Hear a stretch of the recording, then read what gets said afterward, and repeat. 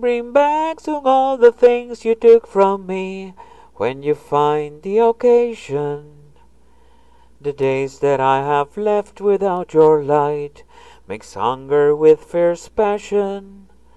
The Virgin and the prayers, the sword and the clay midgets, the beaches and the sea breeze.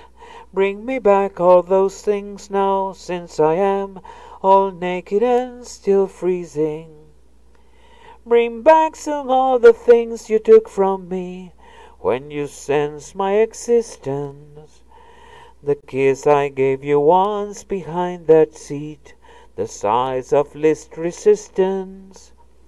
My Peter Pans and Wendy, my long wolf full of courage, and my books of short stories. Bring back now all the things you took from me.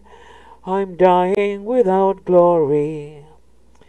Do you recall that orange, the mighty Seychelles god, the poem of the sparrow, and the rock crystal arrow that I stole from an angel and plunged into your bosom?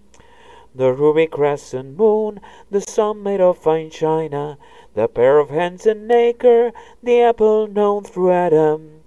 Everything that you took from me, my love, belongs near my recliner. My nervous happiness, my countless tears of joy, my prose writing, my verses, my most passionate letter, my nice lemon tea, my awkward fear of spectres, my crucifix in blue, my cuddly toy on fire, and making love to you, filled with morning desire.